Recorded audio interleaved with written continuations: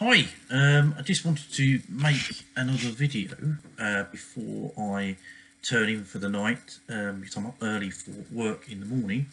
Just wanted to make a video regarding incels and my view on this present topic of conversation.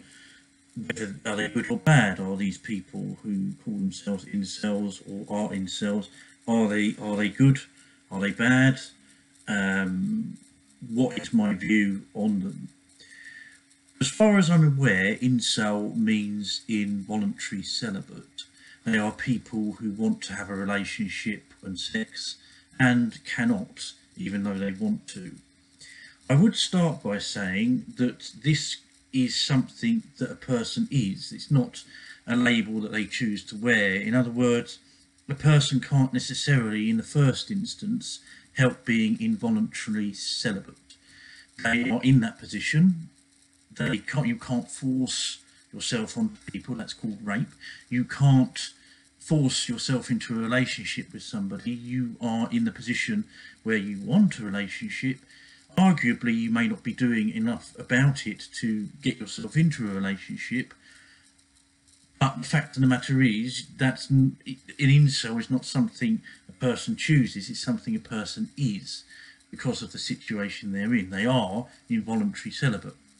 So I think it's a bit unfair for some people on the internet to bash these people and talk badly about them and just I do understand that there have been some people that have murdered people who have also these people have called themselves incels, Elliot Rodger and um, Alex Minassian, the uh, Toronto van driver, and but just because these people were incels doesn't mean that all the incel people who call themselves incels are going to kill people or it's going to lead them to killing people. I think we need to be very careful that we don't virtue signal and just have an opinion based on what other people's opinions are, and that we are matter of factly come to our own opinions about these people and not just tarnished them with the same brush. Growing up as a teenager, I understood what it was like to be passed over. I can probably say that in my parents' day, I probably wouldn't have been as passed over as I was in my day. I think that's because women's liberation, which I think to some extent is a good thing. I think it's good that women don't feel that they have to now date below them or date a man that they don't feel is, is socially astute or, you know, apt enough for them with enough savoir faire or whatever you call it. It's good in a way. But the thing is, before in my parents' day, dating was even the socially awkward people would get dates and they would get uh, marriage partners. They may not be the marriage partners they wanted, and their marriage partners may may not wanted necessarily them, but they got somebody. They, they got to be in a relationship, to be in a marriage. Now, in my day, growing up to now, because of, because of women's liberation, because of feminism, women now have all the choices they want. They, there's no societal pressure saying you have to go with somebody, you know, that you don't perhaps like, which I think is a good thing. I don't think that women should go with men that they, they are not interested in or or they don't feel cut the mustard. Unfortunately, a fallout from that is there's a lot of men that then don't get to have a relationship. I think hypergamy comes into the fray as well, and we need to discuss that here. Because hypergamy is when a woman who's very average, perhaps, perhaps she sits at home eating chocolate and not doing anything with her life, then expects a man who perhaps earns a six figure salary, wears an Armani suit, is super good looking. She expects that kind of man, even though she's not she's not in his level. And very often society tells those women, yes, you can have that kind of man, even though you're an average woman. And I think that's very wrong. I think we need to have very realistic expectations of the kind of partners we can have.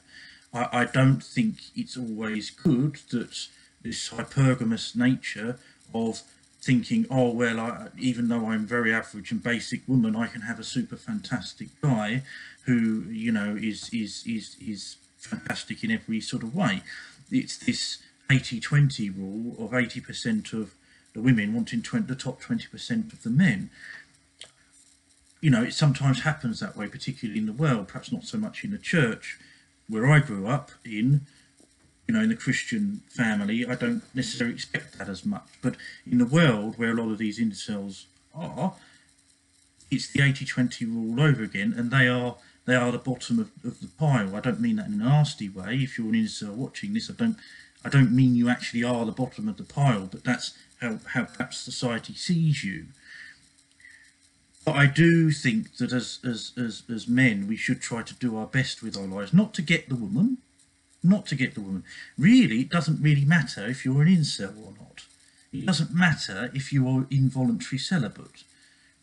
Put that aside for a minute, get on with your own life, get some passions under your belt, get into a nice job, earn some money. I don't, am not saying you have to earn six figures or anything, but, but make a life for yourself and don't worry about the fact that you're still a virgin or you're not married or whatever else. I wouldn't worry about these things. These things are not important. I know that as a young man, if you're watching you feel important, and a lot of other young men are saying, "When did, when did you lose your virginity? When did you, you know, where's your girlfriend? You know, and everybody else around you has got a girlfriend, and you think, well, why haven't I got a girlfriend? I've been there. Uh, it's not a nice place to be. I understand, but if you can have the strength of character to say, well, actually, I'm going to get on with my life. I'm going to uh, get on with with what I'm doing get passionate about something like learning a guitar or something else, um, or getting to a job that you're really passionate about, I don't do it for women. I'm not saying that you that I'm one of these PUAs who says, "Well, you've got to do this, make something your life so a woman likes you." That's not what I'm saying here. I'm saying doing it, do it for you. Become better for you, not for anybody else. Do it for you, and then in doing it for you, if you then, in that position of power, want to be with a woman, that's your choice. You then have that as a choice. Whereas if you're, like many incels are, not, not working on yourself, not, if you want a woman, you can't have that choice because women don't like you anyway.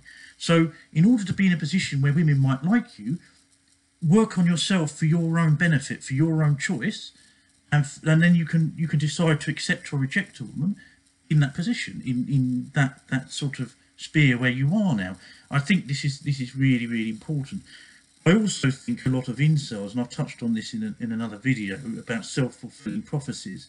A lot of these incels are the way they are because they they believe things about themselves that simply are not true.